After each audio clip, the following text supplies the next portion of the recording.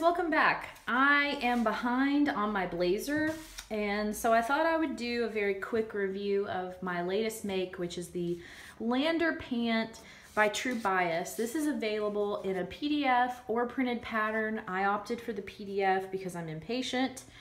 Um, I saw this pattern on Instagram. I think it's only been out a couple weeks and I just loved how it looked and I decided to uh, just take the plunge and go ahead and make it. So I put the pattern together and cut out my fabric yesterday.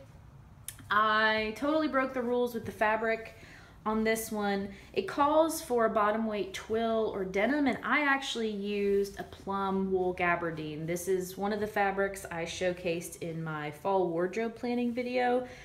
I bought five yards of this fabric when I first started sewing close to six years ago at this point and I had two and a half yards left and I decided I wanted a pair of purple pants. So I uh, bucked the tradition with that. Um, a few things that I love about this pattern, just right off the bat, I cut a size 14, um, which had a 35 and a half inch waist and I believe a 44 to 45 inch hip.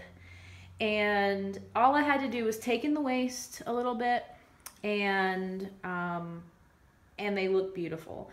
And I also love that we have a we have a, a button fly here. Mine is actually reversed, uh, so the the fly is actually supposed to be on the other side. But I accidentally interfaced the wrong side for the for the uh, shield, and I just decided to reverse it because I at that point didn't care. Um, this is a very easy pattern, I think, for beginners. I've made pants before, I've made coats before, I've made a lot of difficult projects, but the instructions are very, very detailed and they're very intuitive. I think most seamstresses get really worried when you see anything like a button placket or you see a, a, fly front with a zipper or you know anything that's not just a front and a back and a zipper and a waistband and kind of freaks us out. But this is actually pretty simple and straightforward. Um, you have the left fly and then you have a fly shield and then you have buttonholes and then you attach your buttons and then you're done. Um, I did have trouble with the waistband. I don't know if it's because of the, I don't know if the fabric shrunk a little bit when I applied the interfacing. So I cut another waistband and actually created like a center back seam um, and then I followed the rest of the directions to finish it out. I went ahead and added the front pockets, which I really like and I used a cotton lawn, uh, a quatrefoil, I think is what it's called, quatrefoil, um, cotton lawn for the pocket lining. And uh, I really love how these pockets look. I opted not to put on the back pocket. Um, I knew I wanted this to be sort of like a dress trouser and the back pocket looked more denim twill casual to me. So I opted to leave that off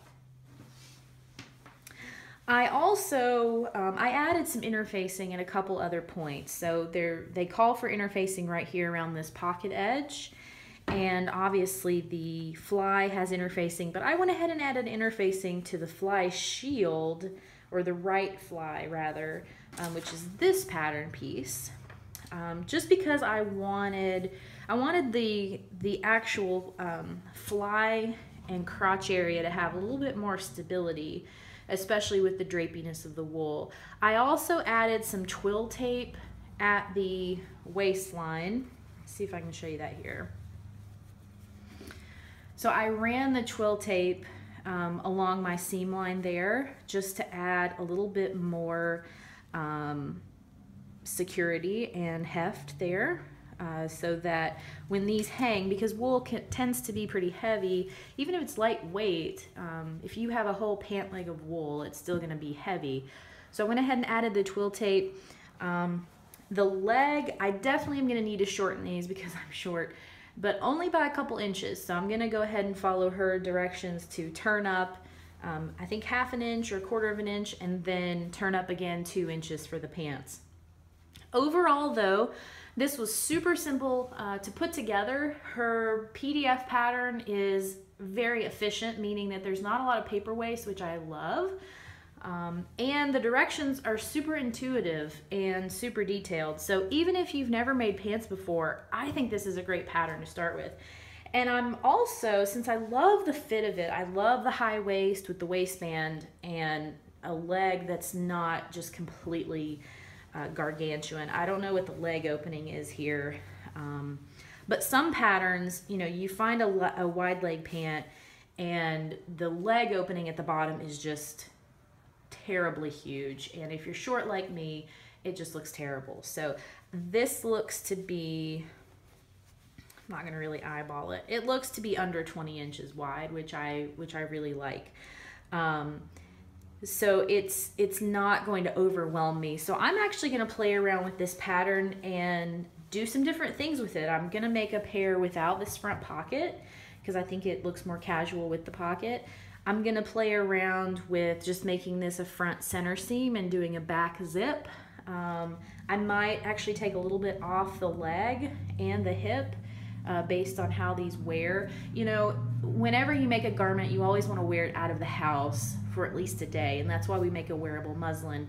Um, if you're like me, I hate making muslins, and sometimes I regret that, but I always want to be able to wear whatever I make. So this, this I'm going to trial and wear out, and then decide how much do I want to take off the hip, how much do I need to take off the leg.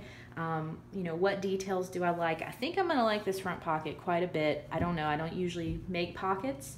Um, but anyway, this is just, it's been a really great experience. I put this PDF together, show you all these pieces. I put it together yesterday and um, started on these last night while I was on the phone with my fiance. He's out of town.